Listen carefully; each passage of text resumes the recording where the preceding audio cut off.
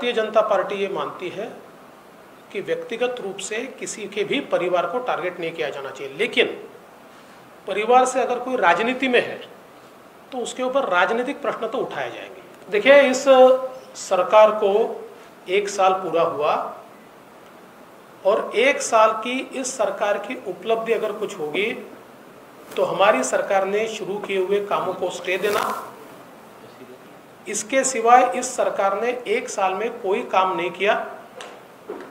आज किसानों के ऊपर बहुत बड़ा संकट है। पूरे महाराष्ट्र में कहीं पर चक्रवात के कारण, कहीं पर असमय बारिश के कारण, कहीं पर बाढ़ के कारण किसानों की फ़सल पूरे तरीके से खत्म हो गई। जो मुख्यमंत्री जी कहते थे, हमको मुख्यमंत्री बनाने का वचन दिया वचन दिया। वो वचन तो उनको याद रहा, लेकिन उन्होंने किसानों तक जाकर जो वचन दिया था कि आपको पचास हज़ार रुपये और पच्चीस हज़ार रुपये हेक्टरी हम मदद करेंगे, वो वचन मुख्यमंत्री भूल गए और किसानों को हाशिए पे छोड़ दिया गया। ये परिस्थिति एक साल में महाराष्ट्र के हमको दिखाई पड़ती है। और एक अघोषित आपातकाल महाराष्ट्र में दिखाई पड़ता है। जिस प्रकार से कल दो जजमेंट्स ये हमने देखे सुप्रीम कोर्ट का जजमेंट अर्णब गोस्वामी के मामले में और हाईकोर्ट का जजमेंट कंगना रनावत के मामले में।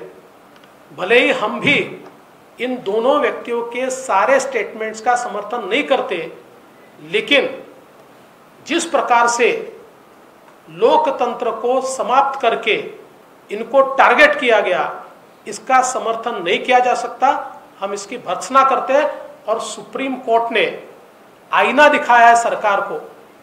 जिस प्रकार से अर्नब गोस्वामी इनके केस में सुप्रीम कोर्ट कहता है, चूँकि उन्होंने सरकार के विरोध में भूमिका ली, इसलिए उनको टारगेट किया गया।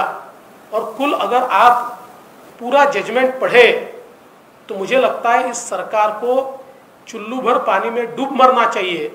इस प्रकार से सरकार को और सरकार के कामों को या जिस प्रकार से इसको हैंडल किया गया, इसके ऊपर टिप्पणी इसमें की गई है।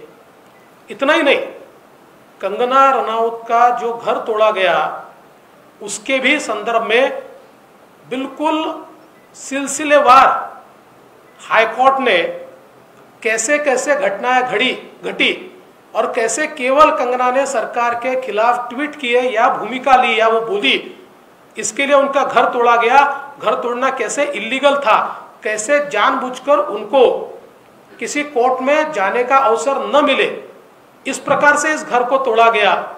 ऐसी सारी चीज़ें सिलसिलेवार लिखी है और साथ साथ शिवसेना के नेता श्री संजय राउत, इनके बारे में भी टिप्पणी इसमें की गई है कि एक सांसद होते हुए इस प्रकार का उनका व्यवहार अशोभनीय है।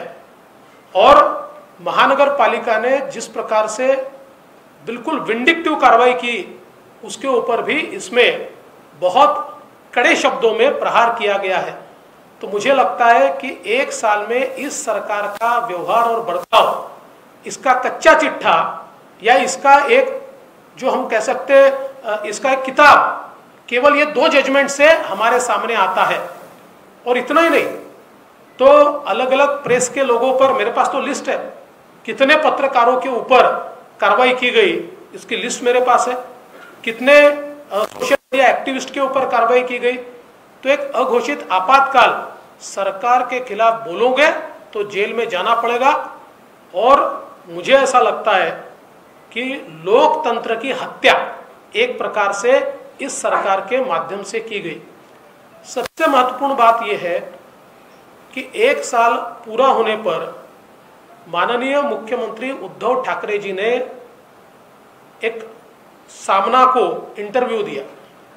हम ये अपेक्षा करते थे कि पिछले एक सालों में हमारे सामने क्या चुनौतियाँ आई, उन चुनौतियों को हमने कैसे पूरा किया, एक साल की हमारे अचीवमेंट क्या है और आने वाले चार साल का हमारा रोड मैप क्या है, किस प्रकार से महाराष्ट्र को हम विकास की ओर ले जाना चाहते हैं। ऐसी सारी चीज़ें इस इंटरव्यू में वो बताएँगे, क्योंकि मैं भी मुख्यमंत्री था, मेरे पहले भी थे अलग अलग राज्यों के मुख्यमंत्री मैंने देखे।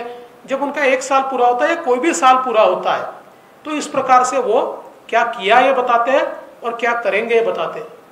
परंतु हमारे मुख्यमंत्री जी का इंटरव्यू पहले से लेकर आखिर तक केवल धमकियाँ देने में समाप्त हो गया। वो केवल धमकियाँ दे रहे थे, विरोधकों को दे रहे थे, अन्य लोगों को दे रहे थे मुझे बड़ा आश्चर्य लगता है। मुख्यमंत्री की कुर्सी पर जब आप बैठते हो तो आप जो शपथ लेते हो, शपथ में शब्द है अनुराग या द्वेष के बिना। ऐसा एक शब्द है। तो अनुराग या द्वेष के बिना हम सरकार को चलाएँगे, सभी को समान न्याय देंगे, इस शपथ को भूल गए। और एक भी डेवलपमेंट की बात पूरे इंटरव्यू में उनसे हमको देखने को नहीं मिली। जिस प्रकार का बयान, जिस प्रकार का वक्तव्य वो कर रहे हैं मुझे ऐसा लगता है कि ये किसी भी मुख्यमंत्री को शोभा नहीं देता। हमारी अपेक्षा है, वो कहते हैं, हम पाँच साल सरकार चलाएँगे। ज़रूर चलाइए, अगर आपसे बनता है तो आप पाँच साल चला लीजिए, पर गवर्नेंस तो दिखाइए। धमकियों के भरोसे थोड़ी स्टेट चलता है, धमकियों के भरोसे थोड़े राज्य चलता है। तो गवर्नेंस के नाम पर एक साल ज़ीरो है, और इसलिए मुझे ऐसा लगता है कि सरकार ने लोगों की अपेक्षाओं को भंग किया है, लोगों का विश्वासघात किया है। अपडेट और खबरों के लिए टीवी वन इंडिया को सब्सक्राइब करें और नोटिफिकेशन पाने के लिए बेल आइकॉन को दबाना मत भूलें।